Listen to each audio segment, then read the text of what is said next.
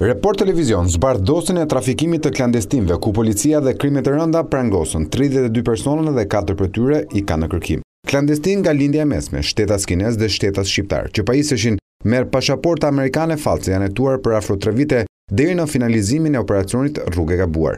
Nga hetimet e kryera ka rezultuar se disa nga shqiptarët e trafikuar me dokumente fallce janë ndaluar në aeroportin e Xhamaikës dhe disa në Kanada, ndërsa nisja e tyre bëhej nëpërmjet Podgoricës për të mos u identifikuar në Rinas. Emrat e personave të përfshirë në këtë grup kriminal janë Dritan Gramozi, Arjan Shehu, Simor Këri, Rezart Hoxha, Dashamir Seferi, Leonard Markaj, Astrit Ziguri, Edmond Omeri, Kostaq Gjoka, Arben Dangëlli, Petrit Beqiraj, Edison Shehu, Zamira Xhafaj, Bedri Meta, Aleksia Kamaj. Pjesë e këtij grupi janë dhe Gjergji Mëzuraj, Shuaip Shero, Afrim Emini, Ermal Mema, Avni Lezaj, Ilia Margo, Sefer Çelo, Jangaq Gramozi, Mentor Mici, Dashnor Tafani, Françesk Meta, Enver Muka, Besnik Hoxha, Çajup Tefa, Vejsel Gjolleshi, Marlen Shoshaj, Vangjel Gramozi, Idi Mita, Mehmet Cani, Erlis Shehu, Elmas Bilbili. Veç këtyre personave, Policia e Shtetit mundi të sekuestrojë edhe dy laboratorë të falsifikimit të dokumenteve,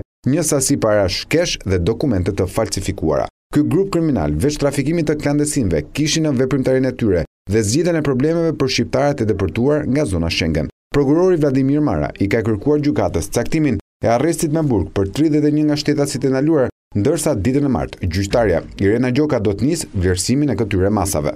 Ndërsa më herët, operacionet për trafikun e klandestinëve drejt Amerikës, Kanadasë dhe vendeve të Bashkimit Europian kanë çuar në pranga mbi njëqind persona nën operacionin e koduar One If by Land.